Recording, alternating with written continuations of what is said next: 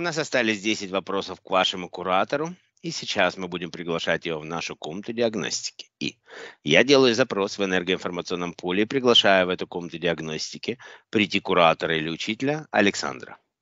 Снимаются маски и голограммы, фантом предстает перед тобой в первозданном виде согласно своему эфирному коду ДНК. Мы приветствуем куратора или учителя Александра. Представьтесь, пожалуйста, как нам к вам обращаться. Приветствую всех в этой комнате, в этом месте. Приветствуем вас. Рад находиться здесь. Зовите меня Русич. Приветствуем вас, уважаемый Русич. Вы куратор или учитель? Куратор. Благодарю вас. Меня зовут Влад, это Вера. Мы сегодня проводили чистку. Александра убрали. Вы в курсе, что мы там убрали. Все расторгли, что было заключено, осознанно или неосознанно, и остались 10 вопросов, которые Александр хотел бы задать своему куратору. Будьте ли вы так любезны ответить на эти вопросы? Постараюсь внести ясность в этот поток смешанной Я... информации. О, да. Здесь и вопросы такие, поэтому, мне кажется, некоторые вопросы даже связаны с этими подключками. Хорошо. Первый вопрос. Откуда родом моя душа? Много примесей, экспериментов, но главные энергии в тебе ангельские, смешанные с солнечными энергиями золота. Ты можешь видеть их внутри тебя. Это именно то, что ты забрал из контракта с демоном. Гибридная душа, ангел и солнце, да? В большинстве, да. Благодарю вас за это объяснение. Вы закончили или можно переходить к следующему вопросу? Или хотели добавить что-то?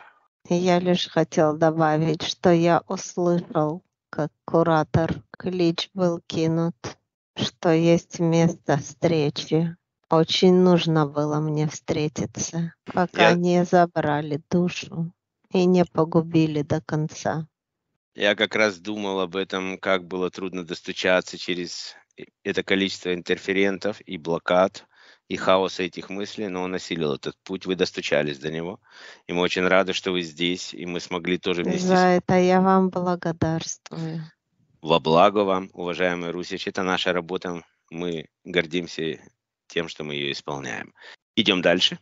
Пожалуйста. Второй вопрос. Гены и энергии каких еще цивилизаций ярко выражены в моем геноме?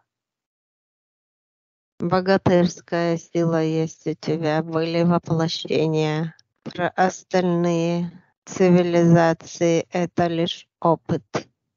Гены, как я уже сказал, есть разные примеси, о которых не буду говорить. Главные твои энергии – это ангельские и солнечные. Концентрируйся на них, не вдавайся в мелочи. Бери главное, то, чем ты можешь питаться, откуда ты можешь получать достоверную информацию. Продолжайте. Благодарю вас. Третий вопрос. Как выглядят мои сутевые энергии в кавычках стержень моей души? Прекрасный вопрос. Светлые белые ангельские энергии с золотой сердцевиной – это то, как выглядят твои сетевые энергии, твой стержень или же дух и душа. Твоя сила и твое, как в сказках, яйцо Кощея. Это твое сердце и душа. Как я уже сказал, ангельские легкие энергии обрамляют э, золото густое и насыщенное, защищая его, защищая суть, знания и силу. Думаю, это понятно и легко представить. Безусловно. Тогда продолжайте, пожалуйста. Я благодарю вас. Следующий вопрос, четвертый. Расскажи о наших мирах. Как мне представлять эти пространства и геометрию матрицы? Выглядят они не так, как матрица Земли. Более легкие, но и более прочные. Мы сейчас говорим про матрицу ангельских миров. Это как веточки переплетений из знаний, информации и телепатических запросов. Именно так через матрицу происходит подключение. забор информации и связь. Благодарю. Благодарю вас. Пятый вопрос. Чья сила стоит за числом, под которым я воплотился? Оно служило главным источником неверной идентификации себя и последний год особенно проявлено в моей жизни. Число 13 – это твое родное число. Не ищи здесь подвоха. Прими как есть, теплом и добротой. Сила солнца и сила ангелов стоит за числом рождения. Кроме этого числа, в твоем дне рождения есть и другие. Не иди за ложными знаниями. Еще раз говорю, концентрируйся на своей внутренней доброте, густоте, свете, радости и смысле. Это все заложено в твоих энергиях. Опыт души достаточный для того, чтобы разжигать изнутри, а не искать поверхностные значения, копаясь в ложных знаниях, которые ведут к ложным эгрегорам и, как следствие, контрактам с нижними или космическими мирами. Благодарю. И я благодарю вас, уважаемый Русич. Идем дальше. Шестой вопрос. Какую поставленную задачу несет мое воплощение? Нужны богатыри на земле в данный момент – энергии ты несешь светлые, как я уже сказал, стильные, собранные, с определенным опытом. Твоя главная задача — выбрать добро и свет, научиться терпению, и придет время, когда ты будешь раздавать свой внутренний свет, пока лишь ты питаешься и ищешь информацию, знания, чтобы вспомнить, что близко тебе, а что чуждо. Сознанием внутренних энергий будет легче распознать правильный путь. Твой путь — это путь добра и света. Именно за этим ты здесь. Много грязи спустилось на землю, много ворогов. Поэтому нужны волхвы и светлые души, возрождаясь на земле, защищая землю. Благодарю.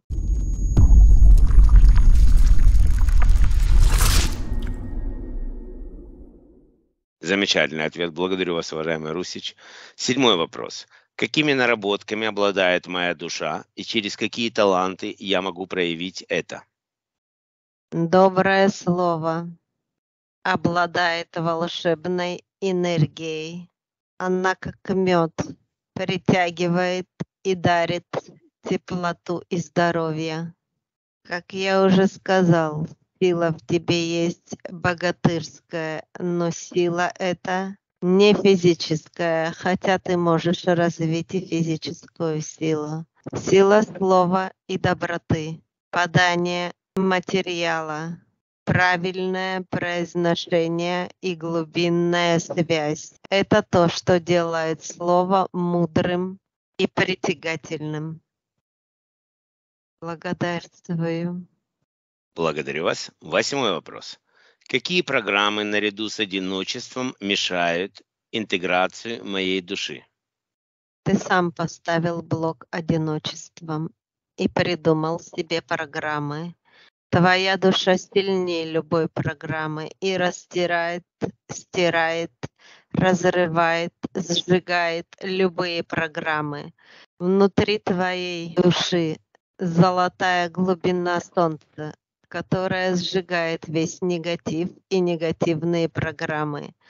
Ты же пользуешься установками и предиктивным программированием программ, которые не входят в твою, твое воплощение. Делая себя одиноким, программируя на это, ты программируешь свою половину и свою судьбу на одиночество тоже. Убери негативные программы, сожги ненужные и поставь себе цель радости, души, любви и я бы назвал это проповедением. Но чтобы дойти до этого, нужно вспомнить свои глубинные знания, настроиться на них, раскрыться и, как я уже сказать, выбирать добрые, правильные источники, не устанавливая ложных программ и не ища чужих энергий. У тебя свои энергии сильные и достаточно наполненные внутри. Пользуйся внутренней силой, внутренней энергией, сопоставляя и анализируя принятую информацию. Твой внутренний стержень не ошибется. Слушай свое сердце и сердцевину. Благодарствую. Благодарю вас.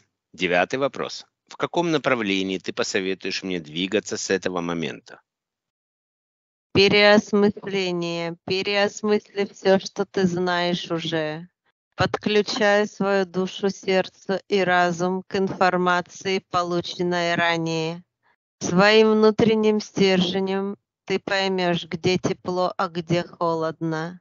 Переосмысление должно произойти, и дальше путь будет выбран теплый и радостный.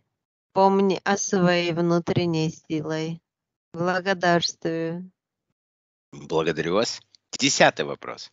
Опиши мне, как выглядят твои энергии для связи с тобой. Все, что ты хотел бы добавить от себя, я готов услышать прямо сейчас. Мои энергии выглядят так же, как и твои. Наш рост примерно одинаковый. Тонкие копии под 3 метра высотой. Они очень похожи на серебро, но там, здесь нет серости, здесь есть свет. Переплетение светлых ангельских энергий содержит золотую сердцевину, как я уже сказал. Мои энергии выглядят так же, как твои. Для связи и телепатического соединения и передачи правильной информации. Телепатическая связь налажена, но многие потоки ты принимаешь за свои, многие ложные потоки, которые не выглядят как ангельские энергии, но хотят подстроиться под этот цвет. Для этого твой твоя золотая середина тепла, которая как сканер может различить правдивую и ложную информацию. Благодарствую. Уважаемый Русич, вопросов больше нет. Если вы хотите что-то от себя добавить или активировать его стержень, это был бы самый лучший момент. Стержень активирован. Я лишь хочу заметить, что есть еще артефакты. Щит и меч, но до них дойдет дело позже. Покажет твоя главная задача прочувствовать свою золотую энергию, обрамленную ангельскими лучами, может увидеть сердцевину, визуализируя свои энергии, понять ее полноту, и только тогда для защиты могут понадобиться артефакты. Пока твоя душа достаточно сильна, чтобы защищать себя, раз сжигая энергии и распределяя ангельский свет. Благодарствую. Благодарю вас, уважаемый Русич. Вопросов больше нет. Остался маленький нюанс. У нас в этой комнате диагностики есть очень добрая традиция. Каждому куратору, каждому учителю, который нас посещает, приходит сюда, мы всегда делаем один определенный подарок. Верочка, в твоих руках появляется большая корзинка с самыми вкусными, спелыми и сочными ягодами, которые есть на земле. Один два, три. И мы спрашиваем разрешения уважаемого куратора Русича, будет ли он так любезен принять этот скромный подарок в знак благодарности за его помощь своему подопечному и просто на добрые воспоминания об этой встрече. Очень навеяло родные просторы и запах леса, смешанный с солнечной энергией. Благодарю за эти воспоминания во благо. Передавайте, пожалуйста, от нас привет в ангельском мире и Солнцу. Мы будем рады всем кураторам, которые достучатся до своих подопечных. Со своей стороны мы готовы открыть, убрать эти преграды, что им мешает, открыть эти двери, в которые они дальше пойдут уже сами. Были и добрые времена на земле. Вы Благодарствую за эту встречу вы застали и эти за вре- подарок. во благо. И, Простите, вы застали эти времена еще, когда были добрые времена? Потому что в нашей Да, истории современной... Добро и понимание было между людьми, справедливость и искренность на определенной территории. Это было очень давно? Я не буду называть Хорошо. числа, так как ваша история иллюзионная, я- перевернутая и неправедная.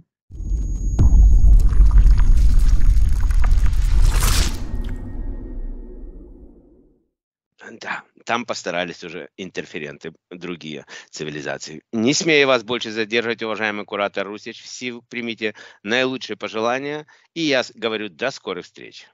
До скорых встреч. И я хочу пожелать наполнения и правильный путь с моему подопечному. До новых встреч. До новых встреч. Рассинхронизируйся, Верочка. Готово. Хорошо, Александр. Мы закончили встречу с вашим куратором. Вы получили все ответы на свои вопросы. Сложились пазлы. Много чего сложилось, и кажется, я чувствую и щит, и меч. Очень интересно буду вдумываться и сканировать сердцем. Замечательно. А сейчас будем возвращать вас назад в вашу систему биоробот-душа, чтобы все эти энергии перешли на физический план. И для усвоения энергии вибраций возвращаем тонкую копию Александра в его систему биоробот-душа. Заводим, подключаем его к каждому органу, каждой клеточке, каждой извилинке головного мозга. Проходит полная синхронизация, гармонизация между физическим биороботом и энергетическими тонкими телами. Готово. Отключайся от объекта, поднимайся в комнату диагностики. Пошел, пойдем.